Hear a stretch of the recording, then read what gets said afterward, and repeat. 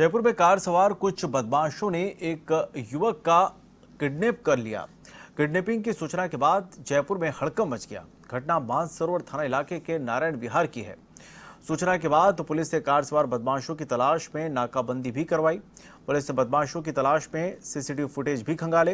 Location पाए जाने पर आखिरकार जिला स्पेशल टीम और मानसरोवर थाना पुलिस ने संयुक्त रूप से कार सवार बदमाशों का पीछा किया। मोहना इलाके के पास पुलिस ने कार की घेराबंदी करते हुए युवक को बदमाशों के चंगुल से मुक्त कराया और एक आरोपी को दबोच लिया।